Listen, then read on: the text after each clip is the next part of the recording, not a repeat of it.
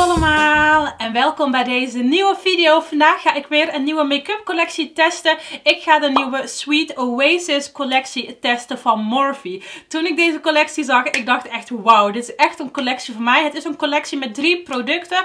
Een oogschaduwpaletje, een kwastenset en een lipset. En ik heb hier alles liggen. Ik heb het allemaal ontvangen in PR, maar ik zou het sowieso hebben gekocht, ook al had ik het niet ontvangen. En dan voornamelijk het oogschaduwpaletje, want die sprak mij echt helemaal aan. Echt, I love it. Ik ben over het algemeen altijd gewoon wel te spreken over Morphe oogschaduwpaletjes. Ze zijn altijd best wel consequent in wat ze uitbrengen. En het is allemaal gewoon altijd wel prima. Dus ik hoop dat deze collectie dat ook gaat zijn. En natuurlijk ben ik ook echt heel erg benieuwd naar de andere producten. Dus dat is wat we vandaag gaan doen. Ik ga een ooglook. Ik ga twee ooglooks maken met het paletje. Ik ga de lipproducten proberen. En ik ga ook de kwasten gebruiken. Want dan gaan we kijken of die ook iets zijn of niet. Ik had ook op Instagram gevraagd of jullie een YouTube review wilden zien over deze collectie. En de meerderheid zei ja. Dus vandaar dat ik vandaag deze video maak. Dus vind je het nu al leuk? Vergeet dan niet alvast te liken en te abonneren. Zo blijf je op de hoogte van mijn vier video's in de week.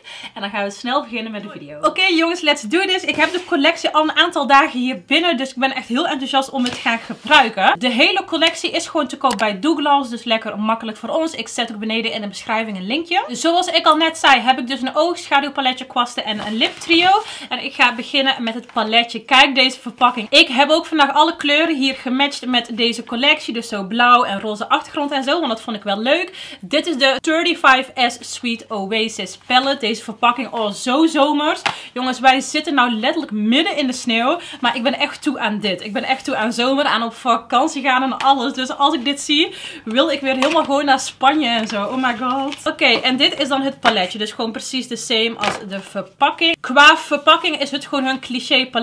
Alleen dan gewoon met hele mooie kleurtjes in plaats zo saai zwart als we ze normaal hebben. En als je het paletje openmaakt, is dit wat je krijgt. Oh my god jongens, deze kleuren spreken mij zo aan. Dit is echt zo'n Sarah paletje. Wat me ook gelijk opvalt is dat we kleurnamen hebben onder alle kleuren. Dat hebben hun paletjes normaal echt nooit. En dit zijn dan alle kleuren in het paletje. Het is weer een mix van matte en glanzende kleuren. En het valt me ook op dat de kleuren soort van zijn opgesteld in rijen. De rij aan de linkerkant zijn vooral cooltone kleurtjes. De twee rijen daarnaast zijn de wat meer neutrale kleurtjes. De twee rijen daarnaast zijn de roze kleurtjes. En de laatste twee rijen zijn de blauw-groenige kleurtjes. Dus je kunt hier echt heel veel kanten mee op. Je kunt gaan voor fel en dan de roze en de blauwe kleuren gebruiken. Of je gaat voor neutraal en dan gebruik je vooral de kleurtjes hier. En je hebt zelfs gewoon een rij met allemaal van dit soort cooltone kleurtjes. En dat zie je ook niet heel vaak in paletjes. Dat ze warm en cool mixen. Dus je kunt hier echt, echt waar heel veel looks mee maken. Dus ik hoop gewoon dat de kwaliteit goed gaat zijn. Ik ga vandaag voor de heftige kleurtjes. En ik wil ook twee looks gaan maken. Omdat ik kon niet kiezen of ik uh, de blauwe kleuren ging gebruiken of de roze. Dus één look wordt roze en één ooglook wordt blauw. En ik ga dit paletje zeker nog wel vaker gebruiken. Dus er komen ook nog wel andere looks op mijn Instagram. Oké, genoeg over dit paletje. Dan gaan we verder met de kwastenset. Dit is de Morphe Sweet Oasis kwastenset. Heel mooi, maar ik moet wel eerlijk zeggen, ik vind de kwasten er een beetje goedkoop uitzien. Kijk, dit zijn de kwasten van meer close-up. Ze zien er een beetje plastic goedkoopachtig uit. Ik heb heel vaak kwasten van hun gehad en die vond ik op zich altijd best wel fijn. Dus ik hoop dat ondanks dat ze er niet zo uitzien, dat ze gewoon wel goed gaan werken. Dit zijn zes oogschaduwkwasten. En dan als laatste heb ik een Sweet Oasis Lip Trio. Dit is een mini lip gloss set met drie mini lip glossjes in drie nude kleurtjes. Het zijn allemaal bruinige nude kleurtjes. Ik vind het een beetje jammer dat ze alle drie bruin zijn. Ik hou persoonlijk wel van bruin. Ik draag bijna altijd bruine nude lip kleurtjes. Maar als ik zo kijk naar de kleuren van de collectie en zo, had ik ook wel een roze nude gewild. Maar goed, die ga ik als laatste gebruiken. We gaan dus nou het oogschaduwpaletje gebruiken. En ik ga ook gelijk de kwasten gebruiken. Ik ga ze even eruit halen. Oké, ik mis wel gewoon een normale ronde fluffy kwast. Die moet ik wel echt hebben. Zeg maar de fluffy kwasten hierin zijn allemaal gewoon plat. Het zijn allemaal van die plat fluffy kwasten. En de normale fluffy kwast is de kwast hier. Alleen die is wel heel erg klein. Maar goed, ik ga ze gewoon alsnog gebruiken. Maar ik ga ze gewoon mixen met mijn normale kwasten. Oké, laten we beginnen. Laten we inzoomen op de ogen. Oké jongens, ik ga beginnen met mijn rechteroog. En dat wordt de roze kant. En de andere kant wordt de blauwe kant. Ik ga dezelfde soort cut crease look maken. Alleen ja, dan gewoon allebei met andere kleuren. Ik ga mijn rechteroog primen met deze roze P. Louise base. Dit is de kleur Winter Rose. Is een beetje een pastelroze kleur. Ik ga beginnen met deze matte kleur hier. Die heet Picture Perfect. Ik ga hiervoor de kleine kwast gebruiken in van de collectie. De kleine ronde kwast. Er staan verder geen namen of getallen op de kwasten. Dus ja, ik moet ze gewoon beschrijven aan de hand van de vorm.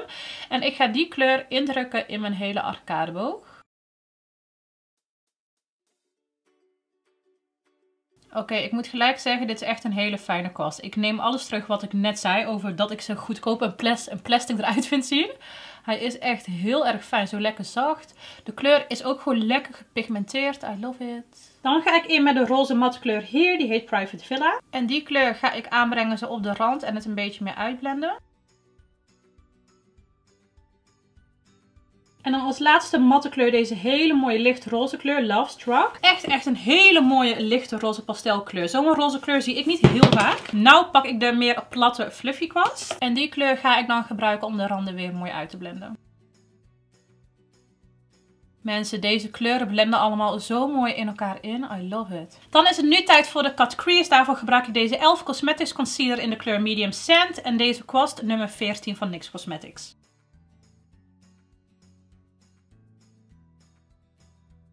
Dan pak ik deze roze glanzende kleur, die heet Revel In It. En die kleur ga ik dan aanbrengen over de hele cut crease. Oké jongens, de glanzende kleuren moet je aanbrengen met je vingers. Nou, dat heb ik nog nooit gehad bij paletjes van hun. Dit is de eerste keer dat ik een paletje van hun gebruik. En de, kleur, de glanzende kleur echt veel beter aanbrengt met mijn vinger. Met de kwast brengt hij niet echt topje aan. Oké, dan ga ik een winged eyeliner maken. Daarvoor gebruik ik deze NYX Cosmetics eyeliner. Oké, dit is dan de roze kant voor nu. Heel mooi roze, I love it. Ik heb niet echt problemen gehad of zo. De matte kleuren waren echt heel erg goed. Die blenden echt helemaal prachtig in elkaar in. Nou ga ik beginnen aan de blauwe kant. Dus die ga ik primen met mijn blauwe P. Louise base. En dit is in de kleur Touch of Frost. Oké, en dan ga ik basically gewoon deze ooglook ook hier maken, maar dan met de blauwe kleuren. Ik ga beginnen met een matte blauwe kleur hier, die heet Infinity Pool. En die ga ik dan ook zo indrukken in mijn hele arcadeboog. Oké, ik denk toch dat ik die kleur iets donkerder wil hebben. Ik pak de kleur Hidden Cove. En met die kleur ga ik er overheen om het iets donkerder te maken. Dan pak ik de blauwe kleur Sail Away. En die kleur breng ik dan ook weer zo aan bij de randen om het meer uit te blenden. En dan als laatste deze kleur, Salt Water Dip. Dit is de lichtste blauwe kleur. En dan ga ik weer alles goed uitblenden met die kleur. Mensen, ik vind de kwasten echt fijn. Ik had het zo niet verwacht. Ik dacht echt, wat zijn dit voor cheap ass kwasten? Maar ik vind ze echt super fijn. Oh my god. Wat is hier gebeurd? Oh my god, ik zit helemaal onder. What the F. Ik weet niet hoe dat is gebeurd. Oké, en dan ga ik hier ook weer een cut crease maken.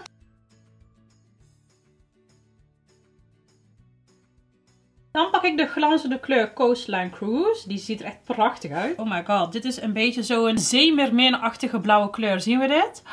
Super mooi. Oh, die kleur brengt wel gewoon goed aan met een kwast. Oké, dat is top. Ik ga hem alsnog even aanbrengen met mijn vinger om te zien of hij toch beter aanbrengt. Ja, ook weer hier met mijn vinger toch wel iets beter. Dit is echt de mooiste blauwe glanzende kleur ever.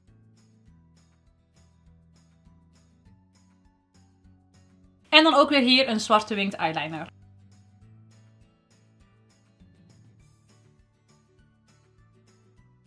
Oké jongens, ik ga even wimpers opdoen en even mijn gezichtsmake-up. En dan kom ik zo bij jullie terug en dan gaan we verder met de ooglook. Oké jongens, daar ben ik weer. Ik heb mijn hele gezichtsmake-up gedaan en nep wimpers op. Dit zijn TL4 Faux Mink lashes van Tati Lashes. Ik ga nou even mijn ogen afmaken. Ik ga de matte kleuren die ik allemaal hier heb gebruikt ook aanbrengen op de onderste wimperrand. Dan pak ik deze wit geglanzende kleur, die heet Windsurf. En die kleur ga ik dan aanbrengen in beide binnenste ooghoeken, dus bij allebei de ogen. En dan een beetje mascara op de onderste wimpers. Ik gebruik de Clarins 4D mascara. En dan zijn beide ooglooks klaar. Wat vinden we ervan? Dit is dus de blauwe kant. Echt heel erg mooi. Ik vind vooral die glanzende kleuren heel mooi.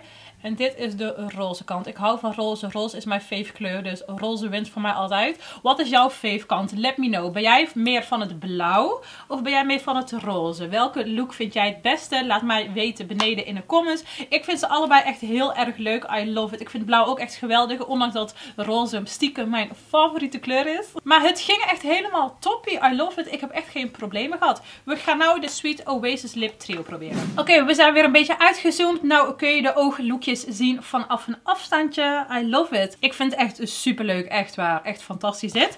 Oké, de lip trio. Ik ga ze even swatchen voor jullie. Dit zijn alle drie de lipgloss kleurtjes. Ik moet wel zeggen dat ze er echt fantastisch uitzien. Heel erg mooi. Oké, dit zijn dan de drie kleuren. De lichtste kleur heet Shimmy. De kleur in het midden heet Groupie. En de onderste kleur, de donkste kleur, die heet Tipsy. Het zijn geen matte glossjes. Ik zie dat er een beetje glitter in alle drie zit. Ik ga ze alle drie even aanbrengen. Ik ga beginnen met de lichtste.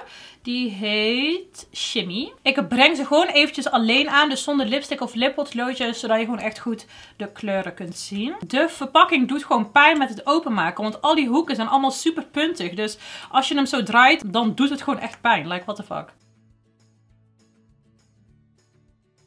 Oké jongens, dit is dan de lichtste kleur Shimmy. Het is gewoon een beetje een doorzichtige clear gloss met een hele kleine lichte peachy kleur er doorheen. Het is niet echt mijn fave. Het maakt mijn lippen een beetje te licht of zo. Een beetje wittig, alsof er zo'n wittige grijze waas over mijn lippen zitten. En dat vind ik niet zo mooi. Maar misschien op een lipstick of zo zou ik hem wel mooi vinden. We gaan verder met de kleur Groupie. Oké, de kleur Groupie staat mij echt al een stuk beter. Heel fijn. Hij plakt ook niet. Je moet wel best wel veel aanbrengen. Dat wel. Ik moest echt drie keer hier terug ingaan voordat ik echt genoeg had op mijn lippen. Maar dit vind ik wel een mooie kleur. Een mooie nude kleur. Ook niet te glitterig of zo. Ik zie bijna geen glitter. Het is gewoon een en al glans. Deze vind ik wel mooi. I like it. Ze ruiken ook lekker. En dan als laatste heb ik hier de kleur Tipsy. Deze ziet eruit alsof hij het meeste glitter erin heeft. Oké, en dit is dan de laatste kleur Tipsy. Ik vind dat de twee laatste kleuren echt heel veel op elkaar lijken. Je zou echt niet kunnen zien welke van de twee ik op mijn lippen heb. Dus dat vind ik wel jammer. Ik mis echt een beetje een roze kleur of zo. Maar goed, de drie kleuren lijken echt best wel op elkaar. Alleen de lichtste, ja, die is wel echt een stukje lichte. Deze vind ik maar ook goed staan. De enige die ik mij persoonlijk niet zo vind staan is de lichtste.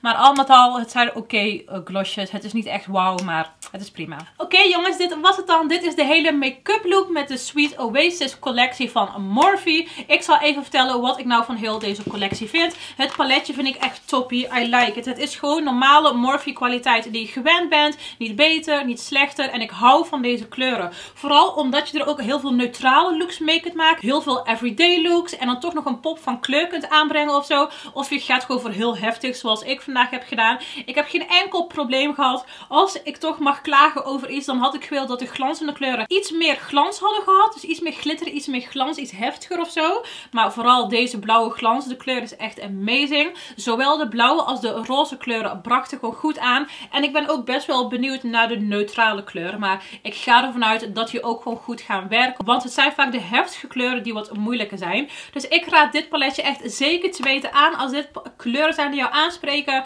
Het paletje is ook niet heel erg duur. I love it. Dan de kwassenset. De kwassenset waarvan ik echt dacht, dit wordt echt niks. Zijn toch echt heel erg goed. Ik ben er heel blij mee. Als je nog wat goede oogkwasten zoekt, ik raad ze je gewoon wel aan. Dus ik vind ze gewoon heel fijn. Vooral deze kleine ronde, die gaat echt in mijn stash hier. Ik vond hem echt heel, heel erg fijn. En dan als laatste de lip trio. De lip trio is voor mij... Het hoeft niet per se. Die raad ik echt het minste aan. Vooral ook omdat twee van de drie kleuren echt super veel op elkaar lijken. De kwaliteit van de glossjes is ook niet echt super goed. De verpakking doet ook echt gewoon pijn als je het open doet en zo. Dat is ook niet heel erg fijn. Dus deze lip trio, ja, je kunt echt wel gewoon zonder. Al met al vond ik dit is echt best wel een goede collectie. Laat me weer weten beneden in de reacties wat je vond van de collectie. Van deze ooglook. Vind je het leuk dat ik twee looks maak met één paletje? Of heb je gewoon iets van Sarah maak voortaan één look? Laat het me allemaal weten beneden in de reacties. En laat me ook weten of jij deze collectie ook gaat kopen. Daar ben ik heel benieuwd naar. Of dat je hem misschien al hebt. Nou, vond je de video leuk? Vergeet niet te liken en te abonneren. Plaats hier ook nog twee video's in beeld die je kunt gaan bekijken. En mijn gezicht hierboven om te abonneren. En dan hoop ik jullie weer snel terug te zien bij de volgende video. Doei!